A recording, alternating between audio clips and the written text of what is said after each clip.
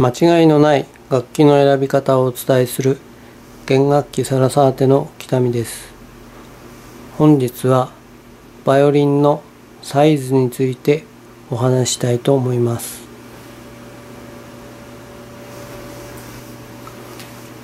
全長が 355mm だとか 357mm だとかそういうことを言いますがでは一体どこの長さを測っていっているのでしょうか？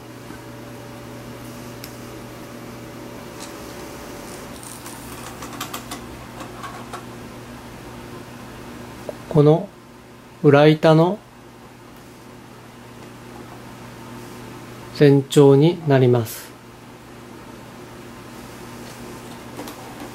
もちろん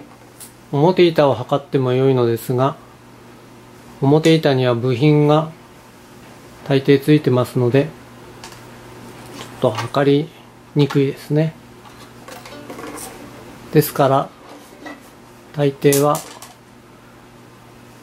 この端に、まあ、メジャーを引っ掛けまして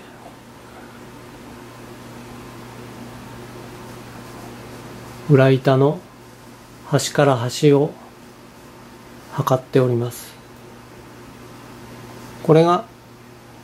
355とか357になるとそれをボディサイズが355であるとか357というふうに表現しているわけなのです。もちろんこれは隆起に沿って測ってしまっていますので隆起の高い楽器や隆起の低い楽器によっては厳密に言いますと数字に多少の狂いは出てまいります。しかしまあ大体こうこういう測り方でボディサイズがいくつあるかというようなことを測って認識するようにしています。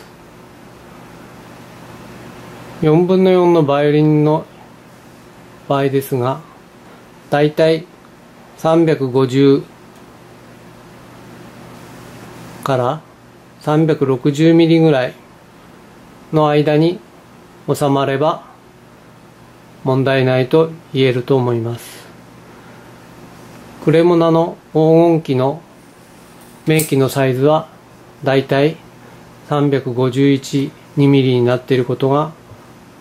多くモダンイタリーなどは357、8ミリ。フランス、ドイツ、チェコなどの楽器は358ミリから